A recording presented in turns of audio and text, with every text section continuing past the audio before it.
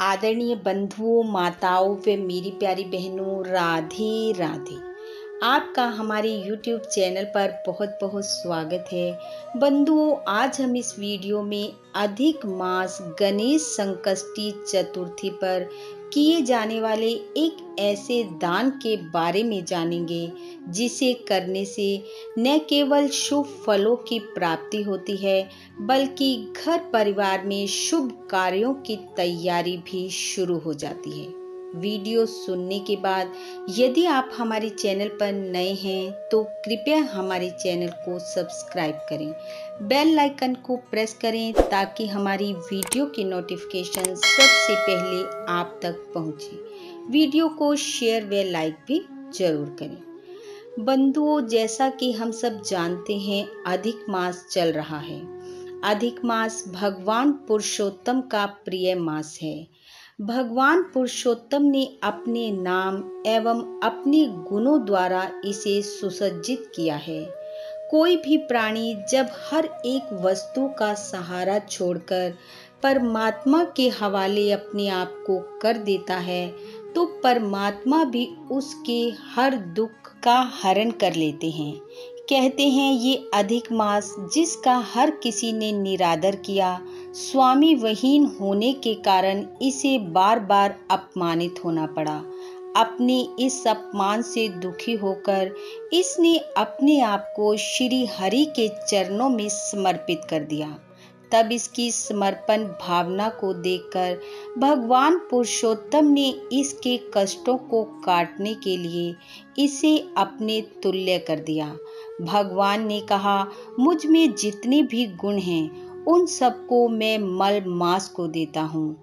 भगवान बोले, मेरा जो नाम वेद, लोक और शास्त्रों में विख्यात है आज से मेरे इसी पुरुषोत्तम नाम से यह मल मास जाना जाएगा और मैं स्वयं इसका स्वामी बनूँगा।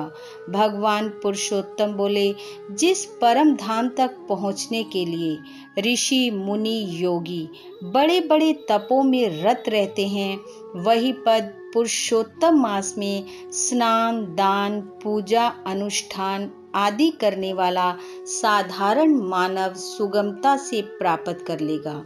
इसलिए बंधु, अधिक मास का प्रत्येक दिन पल क्षण में किए जाने वाला जप, तप, पूजन शुभ फलों को देने वाला होता है।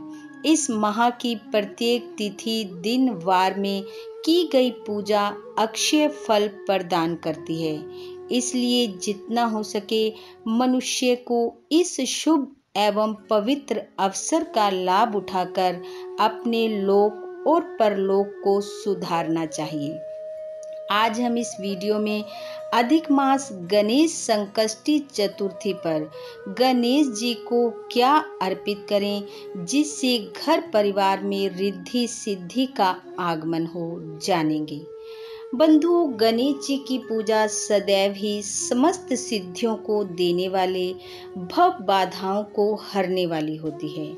लेकिन आज हम जानेंगे कि अधिक मास की गणेश संकष्टी चतुर्थी पर कौन सा एक ऐसा दान करें जिससे प्रतिदिन ही शांति, पुष्टि, सुख, संतान एवं धन में वृद्धि हो।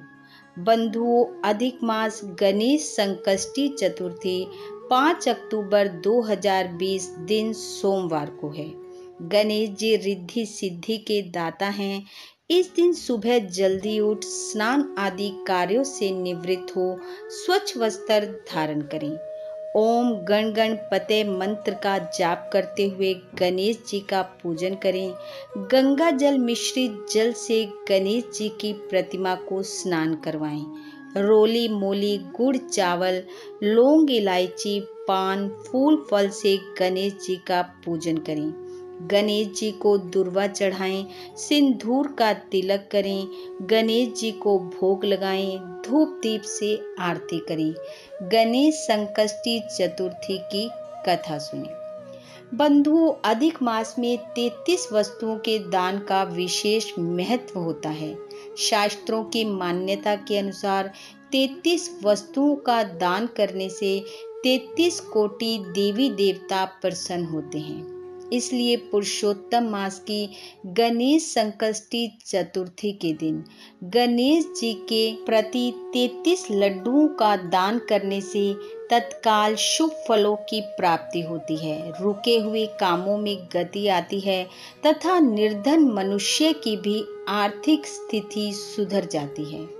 वैसे तो गणेश जी को प्रत्येक मिष्ठान अत्यधिक प्रिय है, लेकिन गणपति पूजा में लड्डू का भोग विशेष तौर पर लगाया जाता है, क्योंकि गणपति देवता लड्डू का भोग ग्रहण कर तत्काल प्रसन्न होते हैं। इसलिए बंधुओं, अधिक मास गणेश संकष्टी चतुर्थी के दिन गणेश पूजन में तैतीस लड्डुओं का भोग गणेश जी को लगाकर प्रसाद स्वरूप सब में बांट दें। ऐसा करने से मनुष्य की सभी इच्छाएँ पूर्ण होती हैं एवं समस्त सिद्धियाँ प्राप्त होती हैं। बंधुओं संकटों को हरने वाले रिद्धि सिद्धि के दाता गणेश जी की कृपा आप व आपके परिवार पर सदैव बने रहे। गणेश जी को लगाया लड्डुओं का भोग और दान आपके घर परिवार को सुख समृद्धि से भरपूर कर दे। इन्हीं शुभकामनाओं के साथ आप सबका बहुत बहुत धन्यवाद। राधे राधे